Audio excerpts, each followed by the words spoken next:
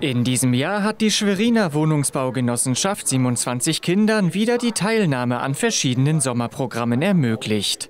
Darunter im Feriendorf Müs, wo neun Mädchen und Jungen zwischen 8 und 13 Jahren spannende Erlebnisse geboten wurden. Natürlich alles unter Einhaltung der geltenden Corona-Regelungen. Wir haben äh, Jump House mitgenommen, also Easy Jump, was natürlich das Highlight der Woche war.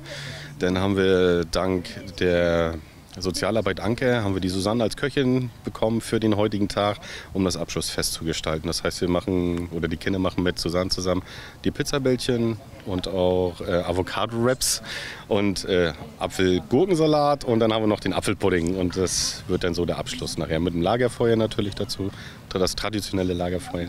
Ja, das bildet dann so den Abschluss des Ferienlagers. Unter der fachkundigen Anleitung wurde dort außerdem am letzten Abend ordentlich geschnippelt und gerührt. Alles mit einer ordentlichen Portion Spaß. Auch ein Schaumkusswettessen stand noch auf dem Programm. Für Mitte August ist außerdem das traditionelle große Abschlussfest mit allen Feriengruppen geplant.